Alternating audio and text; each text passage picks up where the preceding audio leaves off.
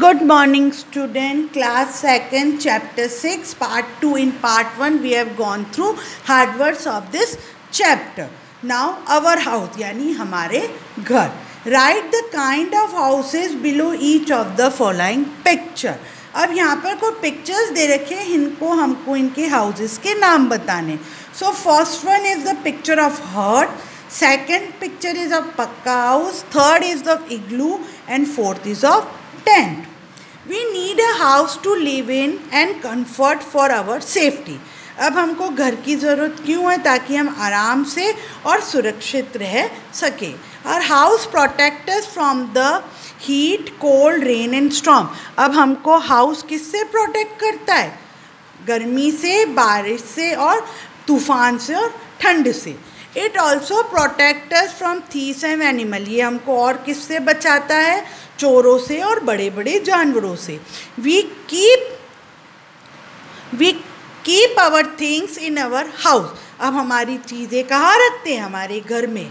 We rest and sleep in our house हम कहाँ आराम करते हैं? हमारे घर में हम आराम करते हैं और सोते हैं। We call it our home और हम उसको क्या बोलते हैं? हमारा घर या हमारा मकान. डिफरेंट टाइप ऑफ़ हाउसेज अब. ठीक है? अलग अलग टाइप के कौन कौन से हाउसेज होते हैं? Kutcha house kutcha house are build with mud bamboo straw and leave these house are weak houses we find this house mostly in the village अब जो ये कच्चा हाउस है, ये हम, ये किससे बना हुआ होता है? मड यानी मिट्टी बैम्बू यानी बाँस.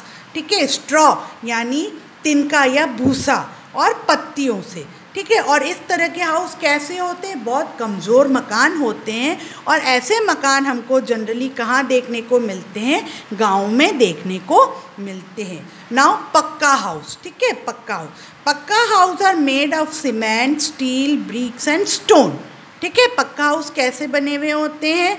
सीमेंट के, लोहे के, ईट के और पत्थर के।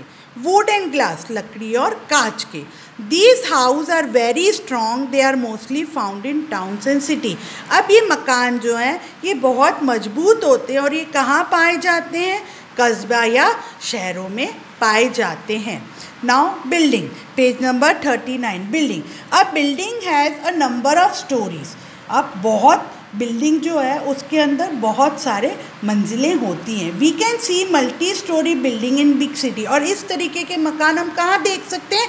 बड़े बड़े शहरों में। It is also build with cement steel stone wood bricks and glasses और ये भी किससे बने हुए होते हैं? सीमेंट से, लोहे से, लकड़ी से, पत्थर से, ईंटों से और कांच से। They are main there are many flats in the building और इसमें अलग अलग दो कमरों के मकान, तीन कमरों के मकान जो फ्लैट्स हैं, इस बिल्डिंग में हमको देखने को मिलते हैं।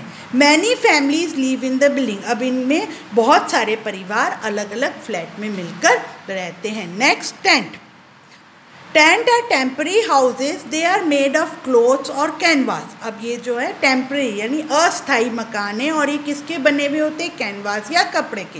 People who go for campaigning trip use है अब जो लोग यात्राएँ करते हैं या पहाड़ पर चढ़ते हैं, वो इस तरीके के टेंट का मकान बनाकर उसमें रहते हैं।